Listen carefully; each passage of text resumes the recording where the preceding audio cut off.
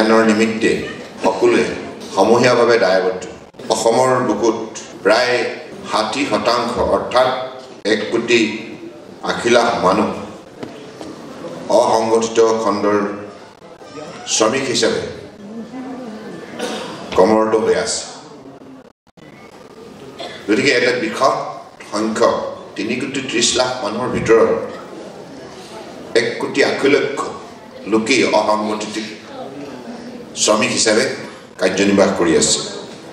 তেখেতসকলৰ উন্নয়নৰ বাবে আজি মাননীয় প্ৰধানমন্ত্ৰী ডাঙৰীয়াৰ এই আঁচনিৰ যোগেদি আমি এটা সুযোগ লাভ কৰিছোঁ। গতিকে কেন্দ্ৰীয় চৰকাৰৰ এই আঁচনিৰ সুযোগ যাতে অসমৰ বুকুত থকা প্ৰতিগৰাকী অসংগঠিত খণ্ডৰ শ্ৰমিকে যাতে লাভ কৰিব পাৰে ইয়াৰ প্ৰতি আমি বিশেষভাৱে যত্ন ল'ব লাগিব। আৰু সকলোবিলাক বাস্তৱসন্মত পদক্ষেপ গ্ৰহণ কৰিব লাগিব। ইয়াৰ বাবে প্ৰতিগৰাকী শ্ৰমিকে যাতে এই আঁচনিৰ সুবিধা লাভ কৰিব পাৰে ইয়াৰ প্ৰতি লক্ষ্য ৰাখি তেখেতসকলৰ তথ্য সংগ্ৰহ কৰিব লাগিব। এতিয়া আমাৰ আৰম্ভণিহে মাথো। মোক বিভাগৰ মন্ত্ৰী দাস ডাঙৰীয়াই জনাইছে যে যিবিলাক চৰ্ত আৰোপ কৰা হৈছে এই চৰ্তবিলাক আৰোপ কৰাৰ বাবে কিছু আমাৰ ইয়াতে তথ্য সংগ্ৰহ কৰোঁতে জটিলতাৰ সন্মুখীন আমি হৈছোঁ। তথাপি সেই জটিলতাবিলাক আমি সময়ত আমি আঁতৰ কৰিম। আমি কথা নিশ্চিত কৰিম যাতে এক কোটি ত্ৰিছ লক্ষ আশী লক্ষ লোকে এই সুবিধা পাব পাৰে।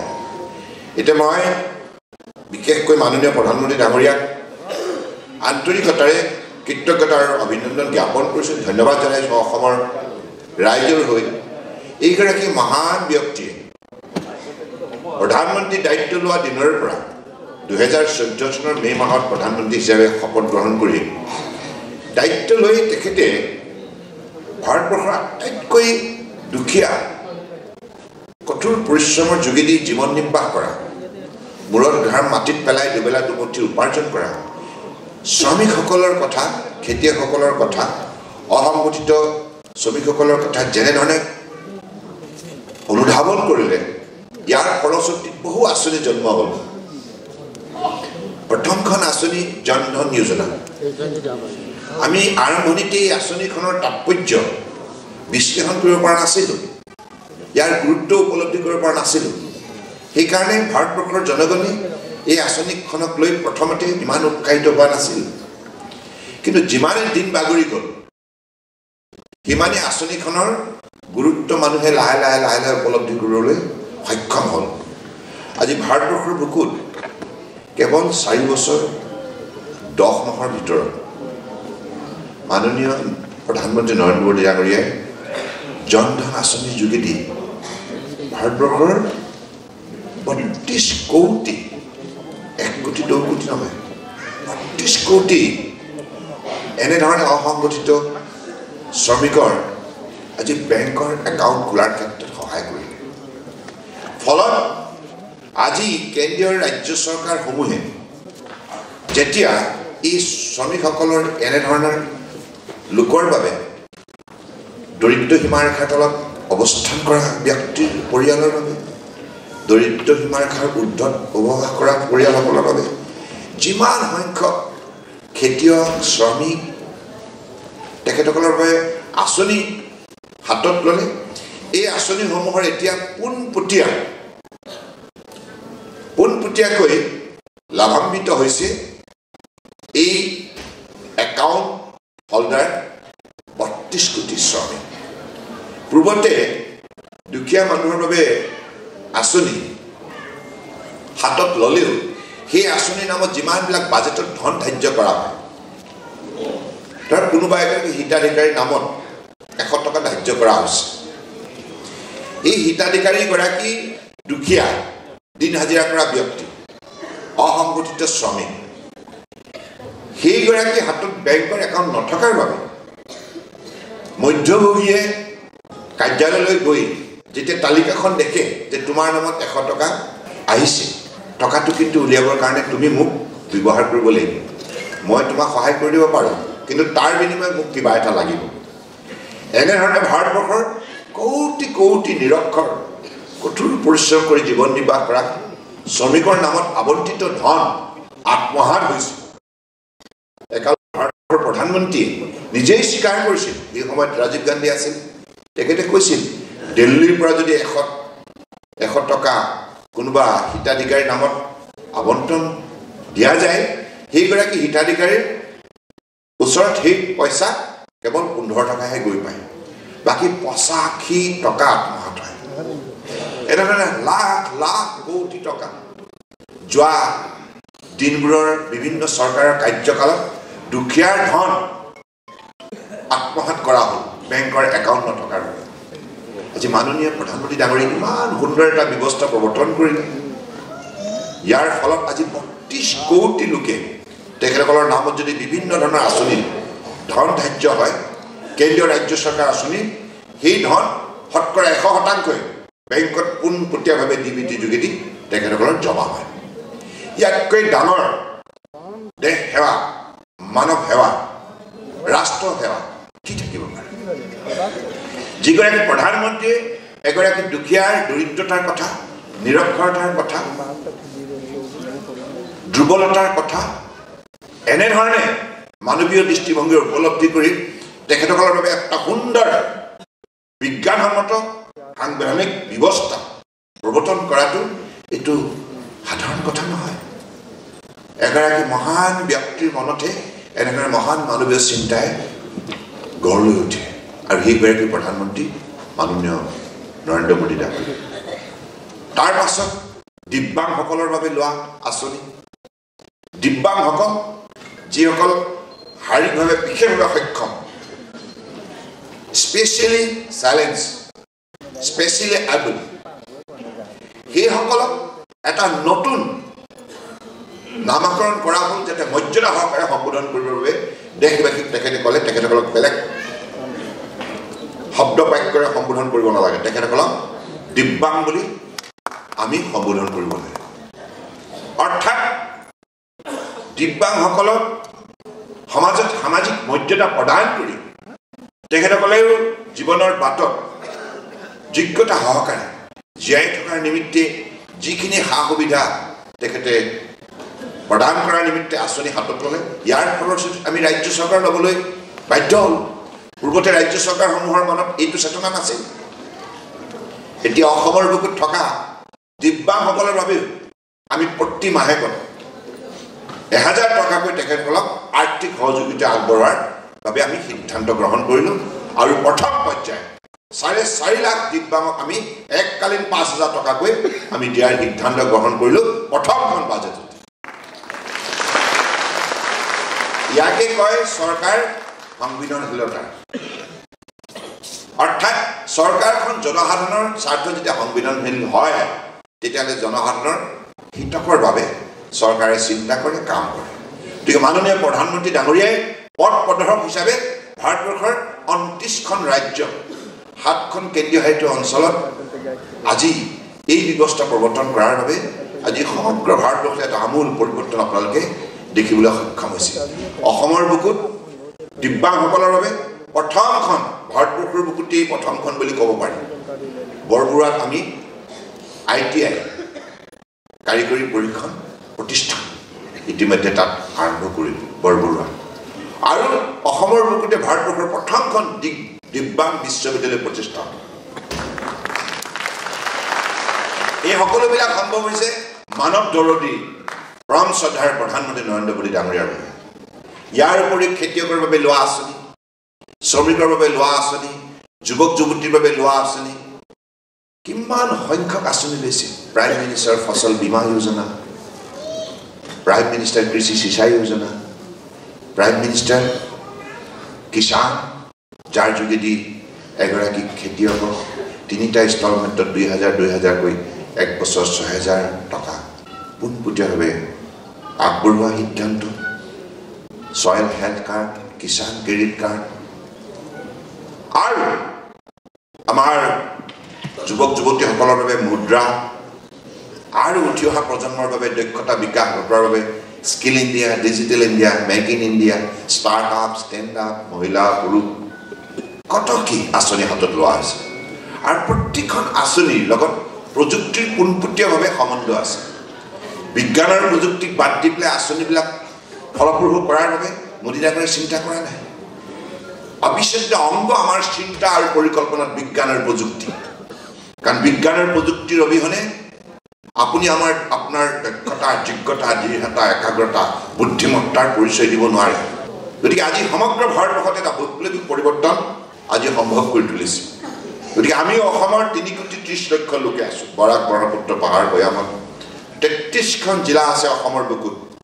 ইয়াত বসবাস কৰা বিভিন্ন জাতি জনগোষ্ঠী ভাষা ভাষী ধৰ্মাৱলী লোকৰ মাজত একতাৰ ভাৱনাৰে আমি ঐক্যবদ্ধ প্ৰচেষ্টাৰে মাননীয় মোদী ডাঙৰীয়াৰ নীতিৰে চবকা সাত চবকা বিকাশ নীতিৰে আমি সকলোকে একাকাৰ কৰি সকলোৰে প্ৰতি সমমৰ্যাদা প্ৰদান কৰি সকলোকে সম অধিকাৰ প্ৰদান কৰি সমন্বয়ৰ বাবে সুবিধা প্ৰদান কৰি আগুৱাই নিয়াৰ আমাৰ লক্ষ্য।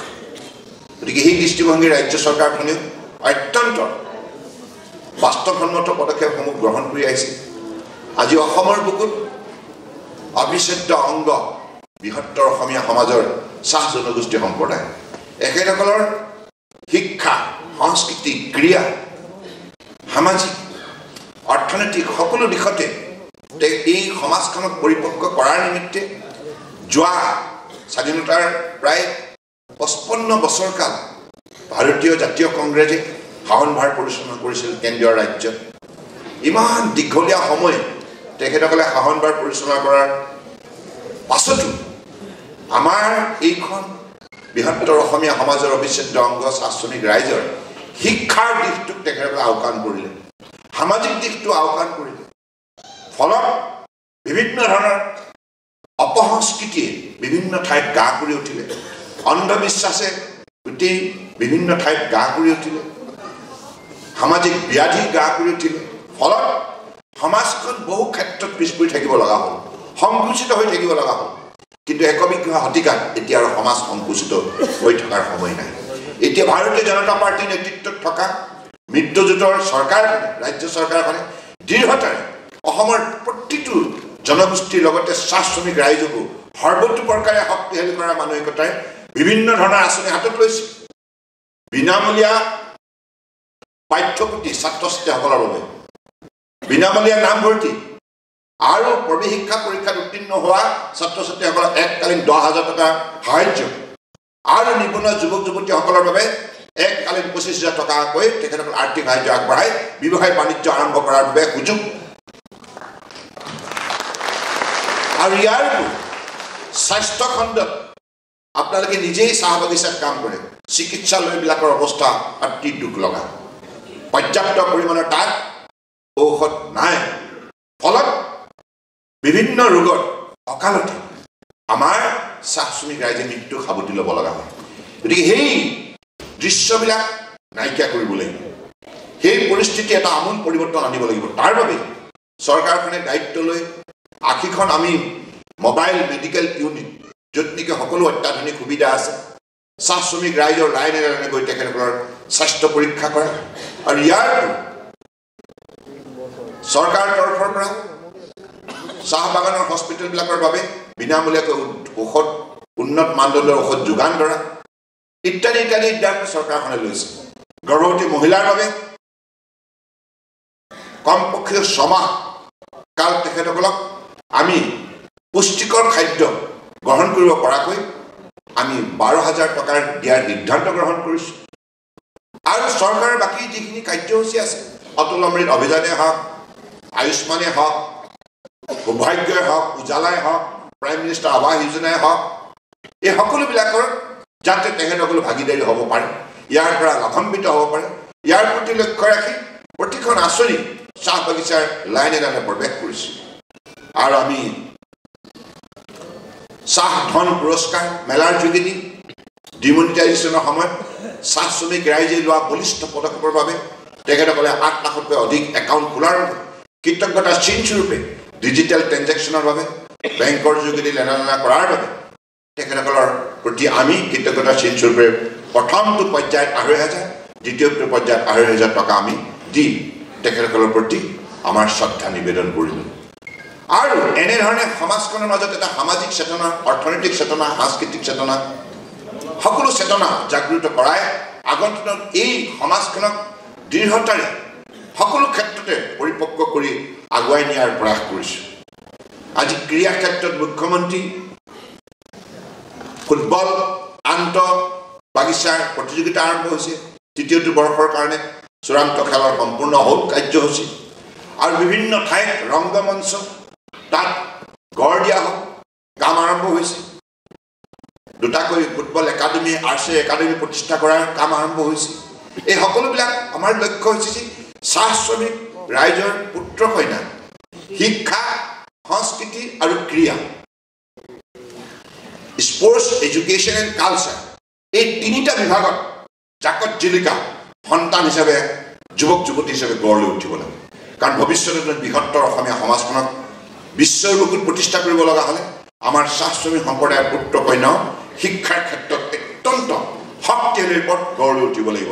তাৰ বাবে অসম চৰকাৰৰ তৰফৰ পৰা শিক্ষাৰ ক্ষেত্ৰত চাহ বাগিচাসমূহত অগ্ৰাধিকাৰ দিয়া হৈছে। এই সকলোবিলাক কল্যাণমুখী আঁচনি জনকল্যাণমুখী আঁচনিবিলাক এতিয়া সঠিকভাৱে ৰূপায়ণ কৰাৰ ক্ষেত্ৰত আপোনালোকে জাগ্ৰত বহুল ভূমিকা পালন কৰিব লাগিব ৱেলফেয়াৰ অফিচাৰবিলাকে লাইনে লাইনে গৈ তেখেতসকলৰ মাজত চেতনা জগাই তুলিব লাগিব। শিক্ষাৰ প্ৰতি আৰু যিবিলাক সামাজিক ব্যাধি আছে অপসংস্কৃতি আছে অন্ধবিশ্বাস আছে। ইয়াৰ বিৰুদ্ধে আপোনালোকে বিজ্ঞানসন্মতভাৱে লাইনে লাইনে যুৱক যুৱতী পুৰুষ মহিলাক লগত লৈ চৰ্দাৰ লাইন ঠিকাদাৰ চকীদাৰ সকলোকে লগত লৈ তাত এটা শক্তিশালী এটা চেতনা সজাগতা সৃষ্টি কৰিব লাগিব। সামাজিক চেতনা এটা শক্তিশালী বিজ্ঞানসন্মত সজাগতা সৃষ্টি কৰিব লাগিব। যাতে ভৱিষ্যতৰ দিনত কোনো লাইনত সামাজিক ব্যাধি অপসংস্কৃতি গা কৰি উঠিব নোৱাৰে। আৰু প্ৰতিটো পৰিয়াল চাহ শ্ৰমিকৰ শিক্ষাৰ ক্ষেত্ৰত নিজৰ পুত্ৰ কন্যাক বিশেষভাৱে অধ্যয়নৰ ক্ষেত্ৰত গুৰুত্ব প্ৰদান কৰাৰ নিমিত্তে বিশেষ যত্ন গ্ৰহণ কৰে। সেইবাবে মই আপোনালোকক আজি আহ্বান জনাইছোঁ অসম চৰকাৰৰ তৰফৰ পৰা যিটো অবৈধ সুৰা এইটো যাতে সেৱন কৰাৰ অভ্যাস পৰিত্যাগ কৰে।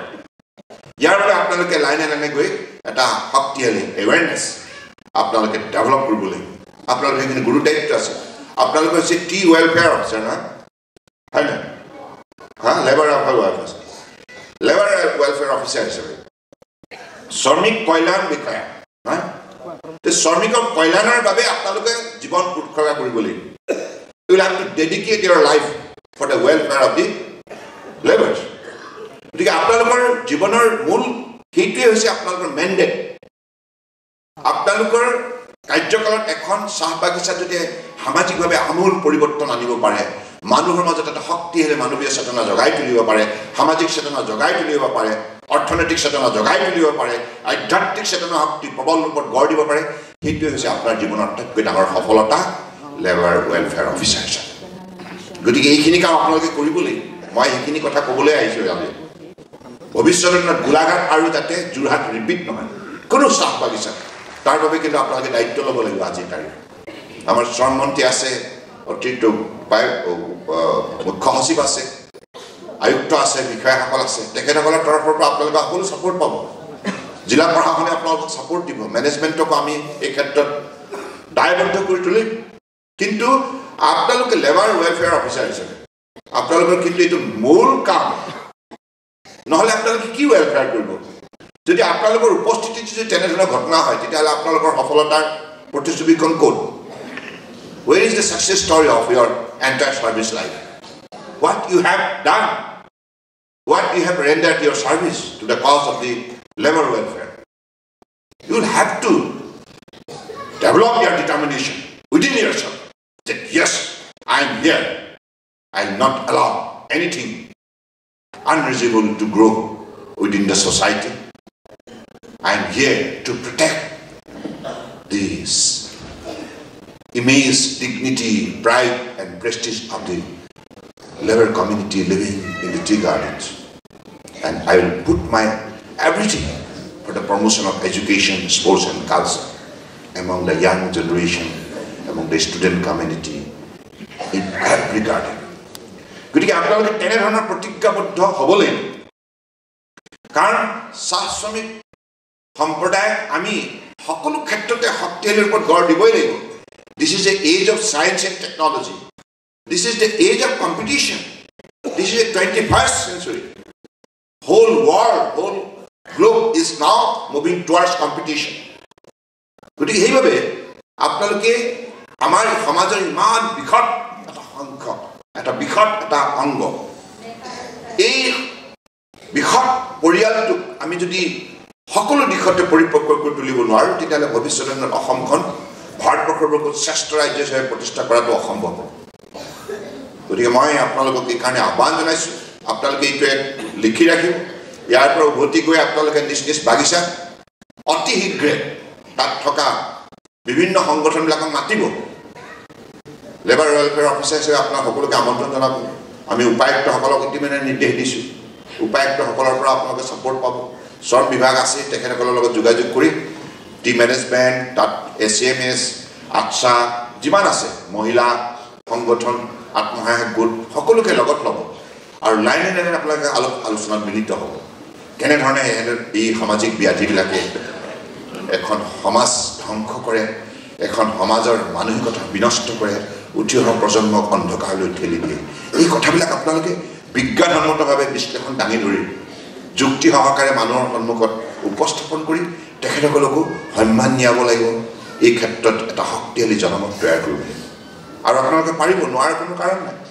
আপোনালোক সকলোৰে মাজত সেইখিনি দক্ষতা আছে। গতিকে আপোনালোক সকলোৱে যোগ্য। আপোনালোকৰ ব্যক্তিত্বৰ ওপৰত মোৰ সম্পূৰ্ণৰূপে আস্থা আছে বিশ্বাস আছে। সেইকাৰণে আপোনালোকক আজি ইয়ালৈ আমন্ত্ৰণ জনোৱা হৈছে। গুৱাহাটীত আপোনালোকে সভাখন উপস্থিত থাকি নিজ নিজ চাহ বাগানলৈ যেতিয়া ঘূৰি যাব তাত আপোনালোকে এই ইয়াৰ পৰা ঘূৰি গৈ আপোনালোকে কাৰ্যসূচী আৰম্ভ কৰি দিব ৰৈ নাথাকিব আৰু। আৰু আমি তাৰ পৰা প্ৰগ্ৰেছ ৰিপৰ্টটো আমি লৈ থাকিম। কোনগৰাকী লেবাৰ ৱেলফেয়াৰ অফিচাৰে কেনে কাম কৰিছে তাৰ ডে টু ডে আমাৰ প্ৰগ্ৰেছ ৰিপৰ্টটো আমাৰ হাতলৈ আহি থাকিব। আমি বিভিন্ন এজেঞ্চিও নিয়োগ কৰিম। আৰু আটাইতকৈ যিগৰাকী ভাল কাম কৰিব তাক চিফ মিনিষ্টাৰে এৱাৰ্ড দিম। এনেধৰণে মহামঞ্চলৈ মাতি পেলাই তেখেতক সকলো অসমৰ তিনি কোটি ত্ৰিছ লক্ষ লোকক সাক্ষী কৰি পেলাই এৱাৰ্ড দিয়া হ'ব যি উল্লেখযোগ্য সফলতা সজাগতা সচেতনতা আমাৰ শ্ৰমিক ৰাইজৰ মাজত গঢ় দিব। আৰু আমি সকলো আপোনালোকক শ্ৰদ্ধা নিবেদন কৰিম। কাৰণ এইখন দেশত আমাৰ জন্ম হৈছে মাতৃভূমি। গতিকে এই মাতৃভূমিত আমি পুত্ৰ কন্যাসকলে নিষ্ঠা সততা আন্তৰিকতাৰে শ্ৰদ্ধা ভক্তিৰে যদি কাম কৰোঁ সমাজৰ বাবে ৰাইজৰ বাবে তেতিয়াহ'লে সদায় ভগৱান আমাৰ ওপৰত সন্তুষ্ট হ'ব আমাৰ জীৱন ধন্য হ'ব আমি মুখ্যমন্ত্ৰী শ্ৰম মন্ত্ৰী আমি যিমানবিলাক ইয়াত additional chief secretary commissioner secretary director আৰু যিমানবিলাক লেবাৰ ৱেলফেয়াৰ অফিচাৰ হওক আমি সকলোৱে সমাজখনৰ বাবে দায়বদ্ধ। আমাৰ সকলোৱে কামে কি? তিনি কোটি ত্ৰিছ লক্ষ লোকক শ্ৰদ্ধা ভক্তিৰে নিষ্ঠাৰে আন্তৰিকতাৰে। আমি তেখেতসকলৰ উন্নয়নৰ বাবে তেখেতসকলৰ মৰ্যাদা সহকাৰে জীয়াই থকাৰ নিমিত্তে কাম কৰা। আৰু বেলেগ কথা নাই।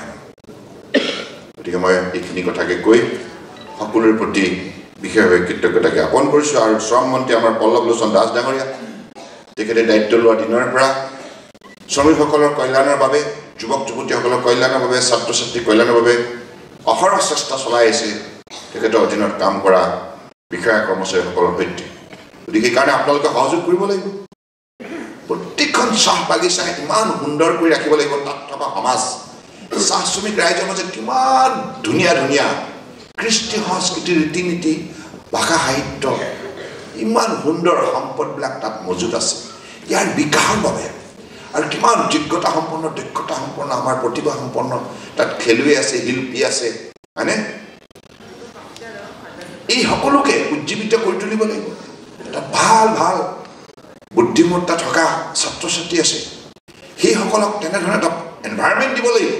অধ্যয়নৰ এনভাইৰমেণ্ট ক্ৰীড়াৰ এনভাইৰমেণ্ট সাংস্কৃতিক কাৰ্যকলাপৰ এনভাইৰমেণ্ট সেই পৰিৱেশ দিয়াৰ দায়িত্ব আমাৰ জ্যেষ্ঠসকল।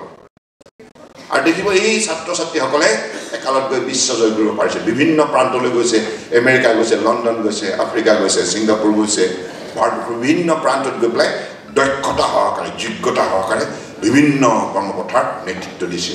আৰু অসমৰ স্বাভিমান বিশ্বৰ বুকুত বৃদ্ধি কৰিছে। গতিকে সেইখিনি কাম আগন্তুক কৰাৰ ক্ষেত্ৰত আপোনালোকে উদগনি যাওক তাকেই কামনা কৰি আজি সভাত পুনৰবাৰ উপস্থিত থকা সকলোৰে প্ৰতি মোৰ আন্তৰিক কৃতজ্ঞতা জ্ঞাপন কৰি আৰু বিভাগ মন্ত্ৰী পল্লৱ লোচন দাস ডাঙৰীয়াক ধন্যবাদ জনাই বিষয়াসকলক ধন্যবাদ জনাই।